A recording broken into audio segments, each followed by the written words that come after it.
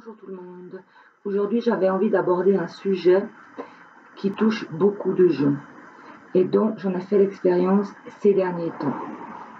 Donc, euh, la plupart euh, des abonnés qui me suivent ont appris que j'ai perdu ma maman le 3 novembre 2016. Donc, ça fera exactement 4 mois demain. Donc, je vais vous expliquer un petit peu, vous raconter un petit peu qu'est-ce que j'ai vécu par rapport au décès de ma maman et surtout les bijoux dont j'ai hérité. Alors voilà, quand euh, ma maman est décédée, le 3 novembre, et eh ben on m'a appelé euh, d'urgence parce que ma maman euh, n'est pas décédée pendant le sommeil, elle était devant la télé. Donc elle n'a pas eu le temps de dire grand-chose, mais quand on m'a appelé, quand je suis arrivée à la maison, ben, ils étaient encore en train de la réanimer. Donc les médecins, l'ambulance, c'était très très difficile, très dur de, voir euh, ces, images et ces, scènes qui m'ont beaucoup marqué, qui me viennent encore à l'esprit euh, quotidiennement. C'était très difficile pour moi. En étant euh, d'une famille du sud de l'Italie, chez nous en Italie, quand quelqu'un meurt, on le veille. Donc il n'y a pas de chambre mortuaire donc on s'occupe de nos morts, ça veut dire on, les habille, on les prépare et on les veille jusqu'au jour de l'enterrement. Mais voilà, nous, vivons en Suisse et ici, euh, ben, ça n'existe pas. Mais mon papa a insisté pour que nous puissions veiller une nuit ma maman, donc euh, ce fameux 3 novembre. Donc euh, j'ai eu l'occasion, j'ai pu habiller ma maman pour son dernier voyage. On l'habillait toute la nuit, euh, on était là vers elle. C'était très très difficile. Je pense que vous pouvez imaginer. je sais qu'il y a beaucoup de monde qui, perd des êtres chers tous les jours. C'est des scènes qui sont très difficiles à oublier. Et euh, voilà, cette fameuse nuit, euh, quand on a mis maman avec ses mains comme ça, avec un, un chapelet dans les mains, mon papa, c'est, enfin, il a vu qu'elle avait les alliances et il a dit, ça, il faut les prendre. Il a enlevé les alliances à maman, donc il y avait une alliance en or du mariage et une alliance en argent qui était les noces d'argent. Alors l'alliance en argent, mon papa l'a donnée à mon frère et l'alliance en or, il me l'a donnée et je l'ai immédiatement enfilée. Donc je l'ai immédiatement mis à mon doigt. Pourtant je savais ce que je faisais et je savais que ce n'était pas très bien car il faut purifier les objets.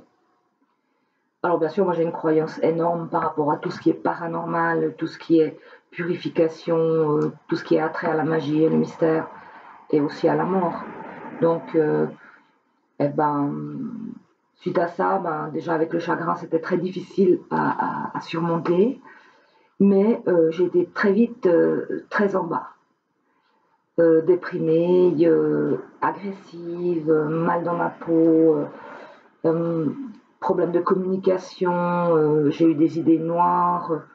D'ailleurs, mon mari en était très inquiet, euh, m'a même conseillé d'aller voir un médecin et moi je ne voulais pas, car euh, je ne voulais pas, comment dire, admettre que, j'étais vraiment plus bas, car je suis de caractère, je peux être très bas pendant un certain temps, mais après je me relève et puis je peux être très forte, donc ce n'était plus moi. J'étais tout le temps mal, tout le temps mal. Et ça a duré euh, trois bons mois, même plus, je dirais trois mois et demi, où j'ai été vraiment mal, jusqu'au jour où j'ai décidé d'enlever cette alliance. Et je me suis dit, ça peut être que ça. J'ai enlevé cette alliance, je l'ai rangée dans une boîte, et le jour d'après, je me suis sentie nettement mieux, beaucoup mieux. Donc, euh, j'ai retrouvé mon énergie, j'ai retrouvé ma vitalité, malgré toujours les images pardon, et le chagrin de ma maman.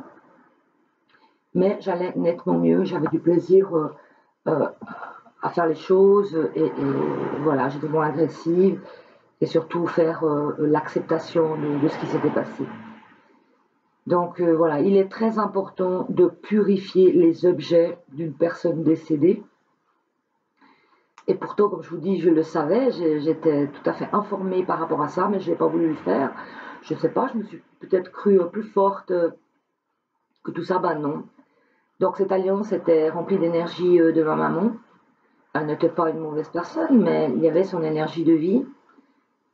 Une vie qui n'a pas été facile. Hein. Et puis euh, surtout le décès qu'elle a eu, c'était un décès inattendu, c'était une mort subite. Et je pense qu'elle n'était pas du tout prête à partir. Elle laissait mon papa comme ça, qui est plus âgé, euh, tout seul. Voilà, et donc je vivais euh, cette, cette, cette colère, ce chagrin, ce mal-être de ma maman. Donc il est très important de, purifier les objets. D'ailleurs, ma maman, elle avait des petites boucles d'oreilles en or que mon papa a fait enlever par le, les, personnes, on appelle ça des croque-morts, j'aime pas trop le terme, mais qui s'occupent euh, des, défunts euh, au funérarium, et les a enlevés pour que je les donne, euh, pour les donner à ma petite fille, qui a 16 mois. Donc oui, je suis grand-maman, j'ai une petite fille de 16 mois. Et j'ai dit à ma fille, il faut les purifier. Elle m'a dit, oh maman, fais-toi, parce que moi, je ne sais pas faire. Et j'ai pris ces boucles d'oreilles, je les ai purifiées dans l'eau avec du sel pendant 48 heures. Elles sont devenues brillantes. Après, je les ai bien lavées avec une petite brosse. Et après, j'ai désinfecté avec du désinfectant. Voilà, donc pour ma petite fille, je l'avais fait, mais pour moi, je ne l'avais pas fait. Donc, il est très important, quand vous recevez des bijoux de famille, de parents, de tantes, de frères, soeurs, je ne sais pas, purifiez-les, s'il vous plaît. Il faut absolument les purifier, car les conséquences peuvent être graves.